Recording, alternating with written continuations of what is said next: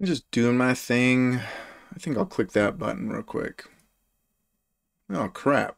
If only there had been some sort of warning or box to say, are you sure you want to do this? Now this has been a feature that I have wanted for a really long time. And yes, this only really works if you have a button that kicks off your server action, but who cares? We can make that work. So here's what we're going to get. When I press the button, I'm going to get a confirmation message where it says, are you sure you should be pressing this button, Andrew? And that two second pause really may be all we need to make sure that people are only pressing buttons when they should be pressing buttons.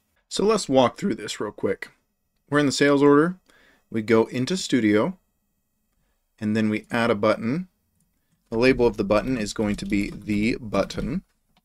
And we're going to run a server action, and it's going to be this test server action. Now, we need to make sure we're in developer mode for the next bit. We're going to go to View, go to XML, and we're going to make sure we're in the Odoo Studio customization here.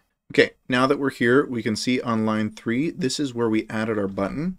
We're just going to add another attribute here called confirm equals, and then in apostrophes, we're going to type our confirmation message. Okay, so here's our result. We have confirm equals, are you sure you should be clicking this button, Andrew, in apostrophes? Now we can go ahead and save.